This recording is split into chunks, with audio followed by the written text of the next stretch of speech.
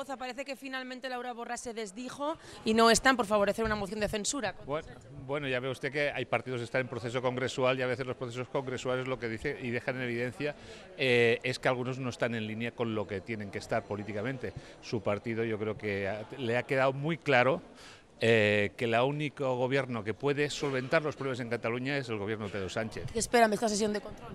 Pues lo de siempre, después de constatar públicamente que el Partido Popular está convencido de que haber presupuestos, es evidente que su política queda en evidencia, la política de intentar destruirlo todo.